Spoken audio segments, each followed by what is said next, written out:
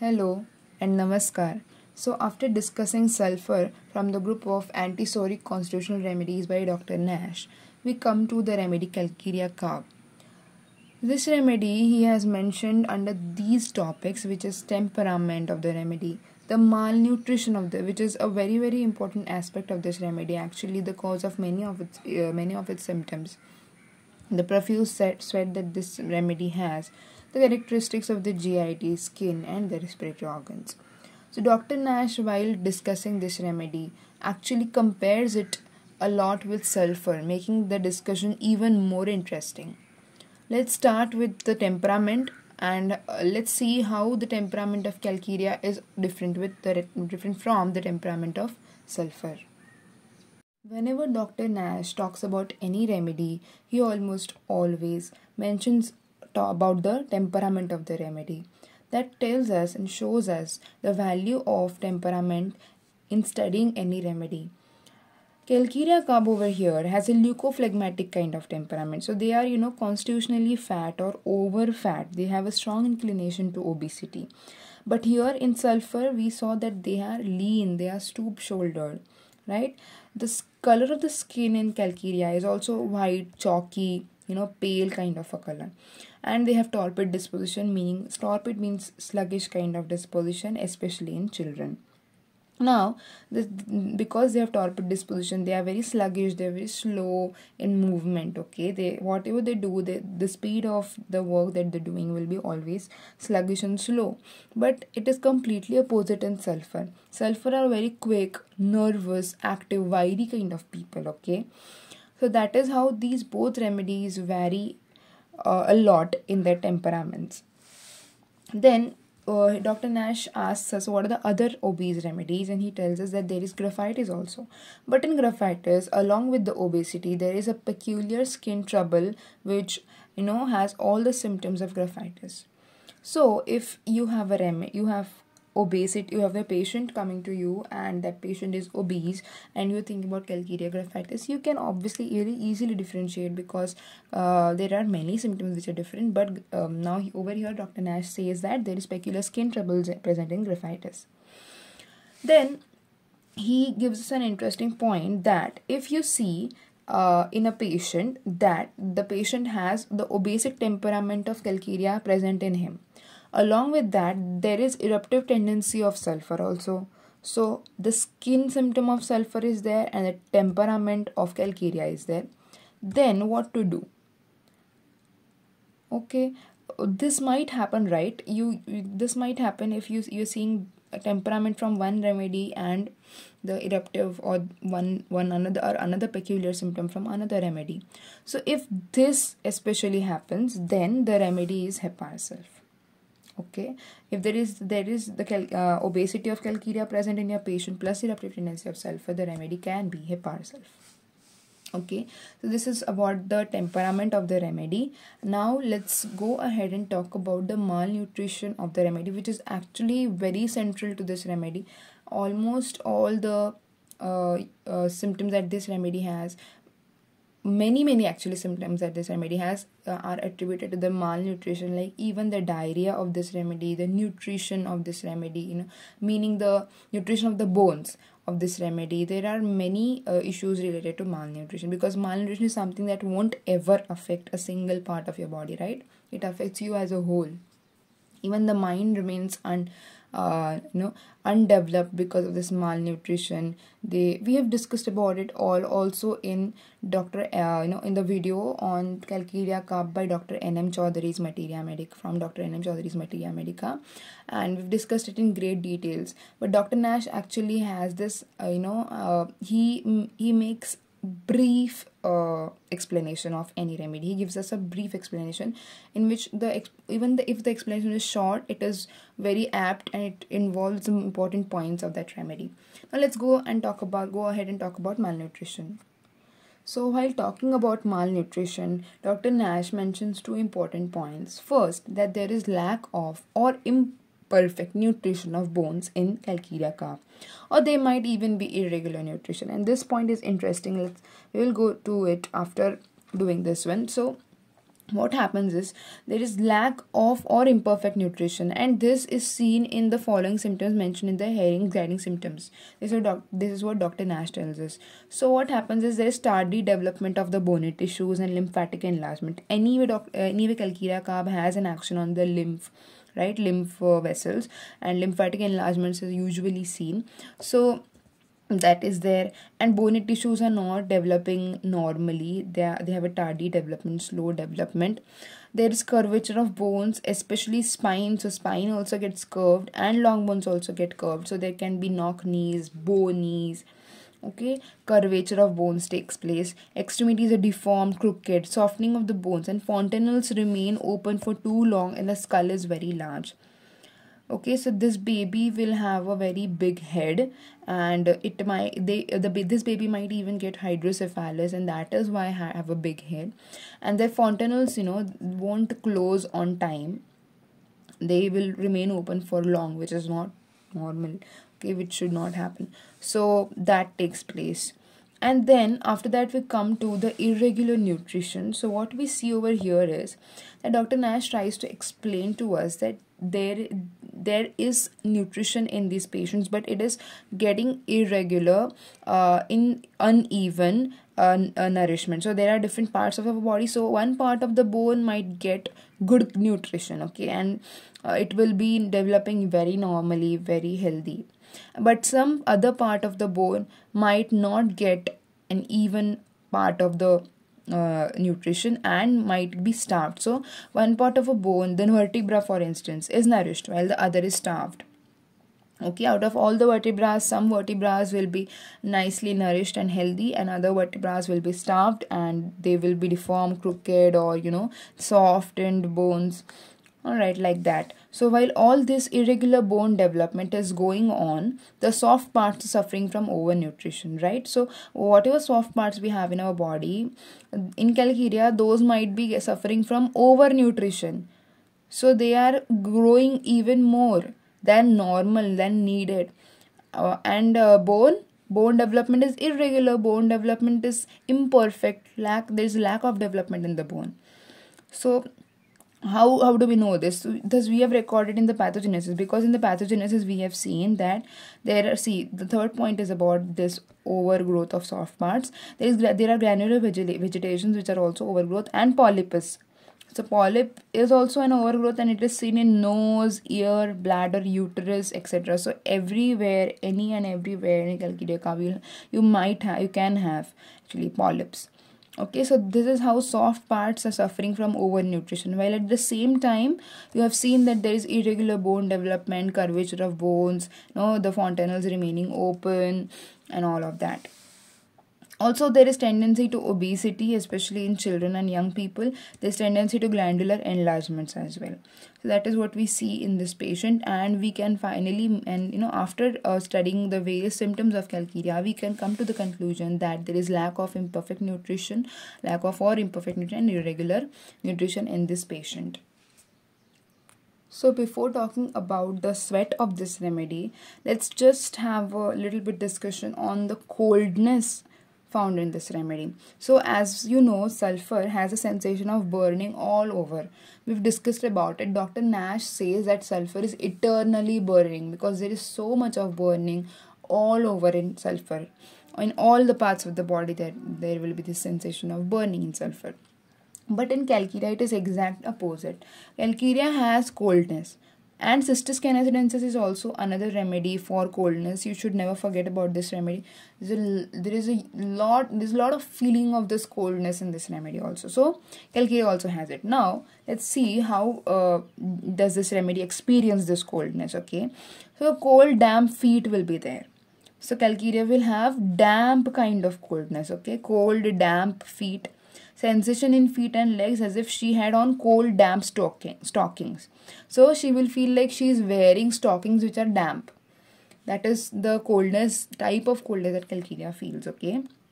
And she feels a sort of inward coldness. So it is not something that is only like like she's not oversensitive to the cold uh, air draft of cold air whatever there is outside. But she also feels that the coldness is actually coming from inside of her yeah. So even uh, it, it is not like she's oversensitive to anything external but it is also inside.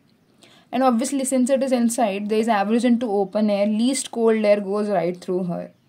So she cannot stand this uh, stand cold air but the cold air itself is not the only cause that is uh, leading to the cold feeling in her chilly feeling in her now there's also sensation of coldness in single parts as well as general coldness in this remedy. So uh, this can also happen that only a single part of her body is feeling coldness at the moment or maybe she will come to you and tell you that I am completely a chilly person and I do not like cold. So in general also she might feel it and on single parts also. Other remedies are cistus and heloderma. Now, coming to the sweat of this remedy, the sweat of this remedy is actually very, very important. Uh, it is actually a characteristic symptom of this remedy. So there are there is profuse sweat in this remedy. Okay, first of all, there is profuse sweat, and um, the part on which it is is the head. Okay, especially on the head, these people have profuse sweat. So large-headed, open fontanelle children. So just now we've discussed about the fontanelles being open. So this remedy has open fontanelles right? So these open fontanelles large headed children sweat so profuse that during sleep this sweat will roll down the head and face and will wet the pillow far around okay? So that is the amount of sweat that is seen on the head of calcareum. This is very important. Now dr nash also adds that sweat is also seen on the male, male organs on the nape of the neck on chest, axilla, head, hands, knees, feet, matlab almost everywhere. So there's profuse sweat everywhere, but the most characteristically it is found on the head. Partial sweats can also be there, night sweats can also be there. In all these sweatings of calcarea, the surface is characteristically cold at the same time, and especially we find the lower extremities cold. Okay, so while she is sweating, she is also very cold to touch, and especially the lower extremities are cold in this patient. Now Dr. Nash talks about the characteristic symptoms of GIT which we see in Calcarea. And the first thing he mentions is the sourness of this remedy. So he says that the whole length of the alimentary canal seems sour. Okay, the whole length of the alimentary. The sourness in eructations is there. The vomiting is very sour because it is of sour curds like you see in Aethusa. There is also diarrhea which is sour.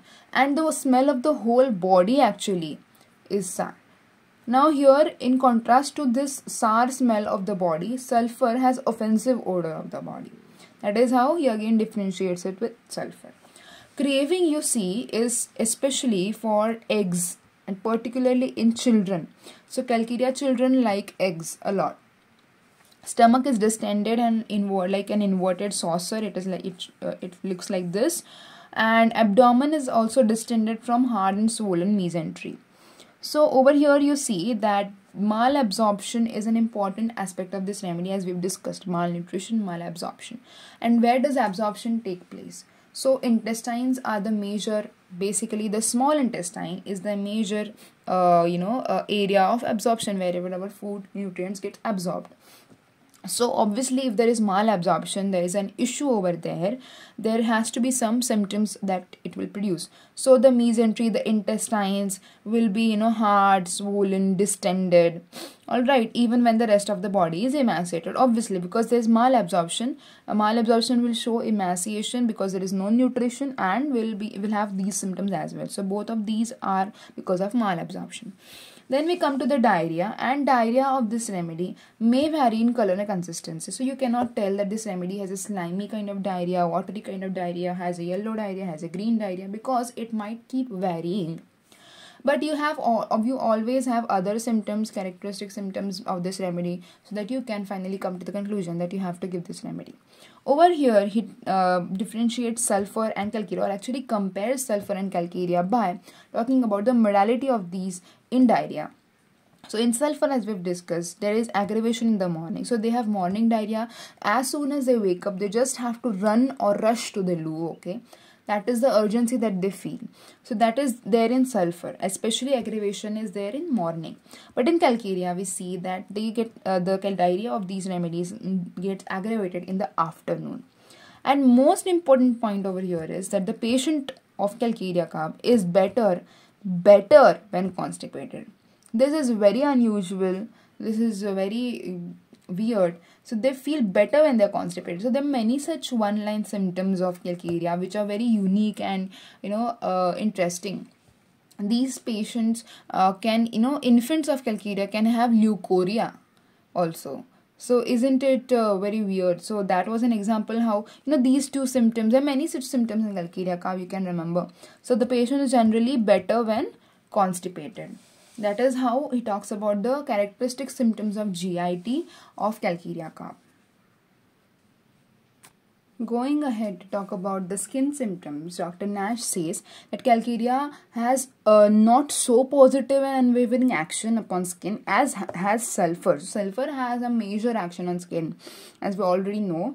So calcarea does not have that great action on skin, but it is indispensable. It, it there is no other remedy that can replace it.